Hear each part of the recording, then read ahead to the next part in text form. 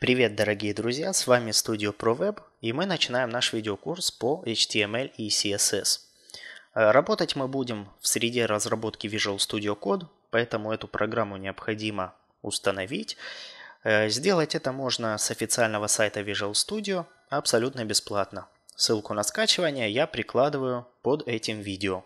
После установки Visual Studio Code я рекомендую открыть отдельную папку можно на рабочем столе, назвать ее lesson и открыть. Далее в адресной строке внутри этой папки мы можем просто прописать cmd и нажать Enter. Для того, чтобы у нас открылась вот такая вот панель консоли. И чтобы открыть Visual Studio, нам нужно просто прописать код и точку и нажать Enter. Сразу после этого у нас открывается Visual Studio Code с нашей папкой Lesson, которую мы создали. Еще один способ открыть папку Lesson – это просто открыть Visual Studio Code, э, нажать на «Файл» и «Open Folder».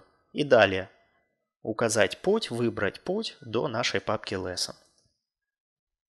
Итак, до того, как мы приступим к созданию файлов и разбору языка HTML, я рекомендую установить несколько расширений, которые нам очень пригодятся, когда мы будем писать код. Для этого давайте нажмем здесь на кнопку Extensions и прямо вот здесь в поиске вобьем наше первое расширение, которое мы установим, которое называется Live Server.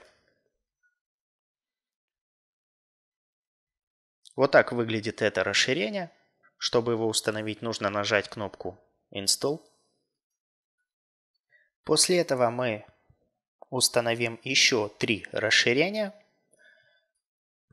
Первое это HTML, CSS, Support. Установим его. Далее установим Auto Rename Tag.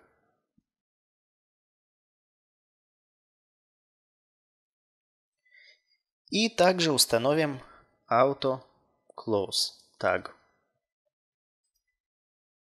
Имена этих расширений я прикладываю также под видео, и чтобы убедиться, что они установились, мы просто убираем то, что мы написали, и в папке Installed мы видим, что все наши расширения тут установились.